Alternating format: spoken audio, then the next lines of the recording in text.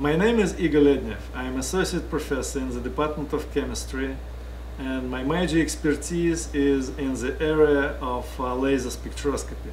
I am developing and applying uh, new methods based on uh, modern laser technology for biomedical diagnostics and forensic analysis. Dr. Lednev is working on a project using Raman spectroscopy, and this is a technology that uh, uses scattered light to detect, to characterize materials that might be found at a crime scene.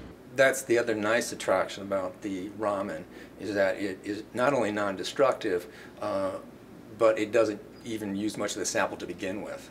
We can scan the laser over the biological stain and find those pure components from different uh, species, from different body fluids, and get them analyzed. To be able to take a single instrument into a crime scene and do all of this and still have a non-destructive process is, uh, is, is startling to say the least. This clearly is a, I think what we would characterize as a breakthrough moment where it dramatically improves the efficiency uh, of processing crime scenes and processing evidence in the laboratory. It's just the beginning.